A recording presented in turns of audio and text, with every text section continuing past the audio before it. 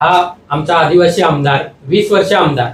परंतु यांनी कुठल्याही आमच्या आदिवासी समाजाच्या जे सुशिक्षित पोरं आहेत ज्यांना नोकऱ्या नाही किंवा ज्यांना कुठलाही रोजगार नाही असे आमचे सुशिक्षित गारगाव जि जिल्हा परिषद गटातले भरपूर पोरं सुशिक्षित आहेत.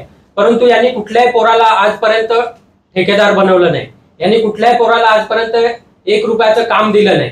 जे पण त्याच्या जोडीला चार पाच जे आदिवासी आमचे पोरं फिरतात हे फक्त यांना वर्षातून एक दोन लाखाचं तीन लाखाचं काम द्यायचं. आणि त्या कामामध्ये वीस हजार दहा हजार रुपये पण नाही मिळणार.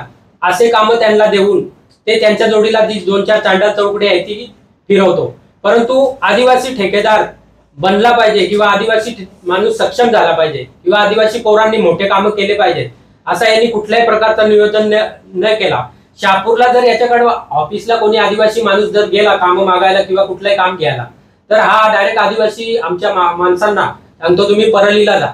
परलीला गेल्यानंतर तुम्हाला तो आमचा पीए काय सांगतो तो काम ठरवेल ते काम तुम्हाला देईल. आता याचा पीए फक्त आदिवासींना दोन लाख तीन लाखाच्या मर्यादेमध्ये असतो. आणि दोन लाख तीन लाखाच्या मर्यादेमध्ये ते पण वर्षातून एक दुसरं काम त्याच्या जोडीला दोन चार चांदर चौकटे आहे त्यांना देतो. परंतु आदिवासी माणसाला सक्षम करायला यांनी वीस वर्षामध्ये कुठल्याही प्रकारचं नियोजन नाही केलं. त्याच्यामुळे आमच्या आदिवासी पोरांच्या तरुण जे पिढी आहे त्या पोरांनी यावेळेस कोणीतरी नवीन चेहरा किंवा कोणीतरी पर्यायी म्हणून इतर माणसांना वोटिंग करायचं ठरवलेलं आहे. परंतु वीस वर्षामध्ये दौलत दरोड्याने कुठल्याही प्रकारचा आदिवासी भागाचा विकास न केल्यामुळे आदिवासी समुदायाचा किंवा आदिवासी समाजाचं कुठल्याही प्रकारचं पुढच्या पिढीचं शिक्षणाचं नियोजन नाही शेतीचं नियोजन नसल्यामुळे आम्ही तरी या वेळेस आदिवासी म्हणून त्याला वोटिंग करणार नाही. नाही, नाही आता हे यांनी मुद्दा मस्त मांडला की आदिवासी समाजाचे जे ठेकेदार आहेत त्यांना कामं दिली असती त्यांना उभं केलं असतं ते केलेलं नाही.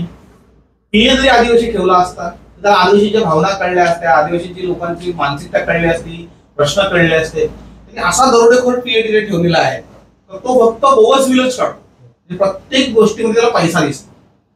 आणि एवढा भ्रष्टाचारी माणूस जवळ ठेवल्यानंतर आदिवासी माणसं आसपास नाही देत आता जी आहेत ती सगळी असे लाचार आहेत.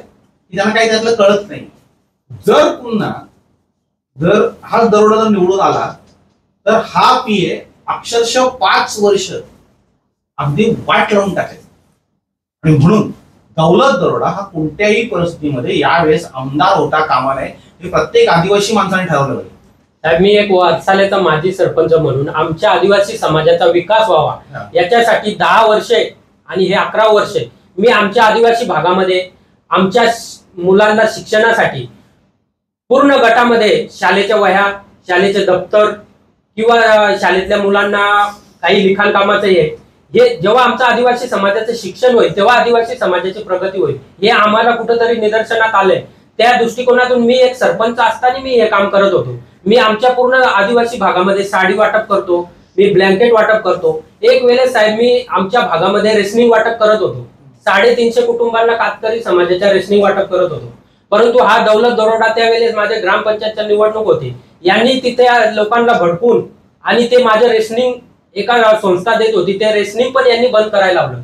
आणि यांनी आजपर्यंत वीस वर्षामध्ये आमच्या आदिवासी समाजाला किंवा आदिवासी शाळेत जाऊन एक पेन सुद्धा दिला नाही. तर हा समाजाचा फक्त मतदान घेण्यापुरता वापर करून घेतो. म्हणून सर्व मतदारांना पूर्ण शापूर मतदारसंघाच्या मतदारांना माझी विनंती आहे का यांनी वीस वर्षात मतदारांसाठी किंवा आदिवासी समाजाची काय केलं हे त्यांना विचारा नंतर तुम्ही त्यांना मतदान करा.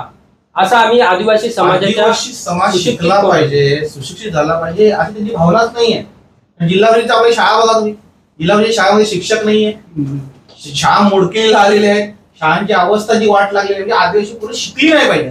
आणि जे सुशिक्षित आहेत बोलायला लागलेले आहेत. त्यांना दादागिरी करून एक बसवतात. त्यांना काही पैसे देऊन आमिष देऊन एक बसवतात. आणि म्हणून आता आवाज उठवला आता पण कोण बोलायची तयारी नव्हती. किंवा दरोड्याच्या विरुद्ध बोलला त्याचे ते गुंड लोक येतात दादा येतात धमक्या देतात वगैरे. पण गेल्या आपण दोन वर्ष बघितलंय. की आदिवासी पोरं उपोषण करतायत त्यांचा भ्रष्टाचार काढतायत. आणि म्हणून कुठेतरी आता रस्ते दिसायला लागले नाहीतर यांनी पाच पाच चार चार वेळा यांची बिलं काढून हे मोकळं आहेत पण विकास काही होत नाही.